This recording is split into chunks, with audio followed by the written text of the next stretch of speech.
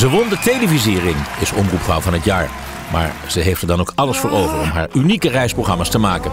Thuis in Amsterdam vertelt Floortje Dessing over het hoe en waarom van mensen die kiezen voor een leven in de verste uithoeken van de aarde. Verder hoe een vader uit frustratie om de handicap van zijn zoon iets presteerde wat iedereen voor onmogelijk hield. En wat hebben burgemeester Van der Laan en Umberto Tan met deze Dennis Gebbink? In de tv-show Zondag na Boer zoekt vrouw, NPO 1.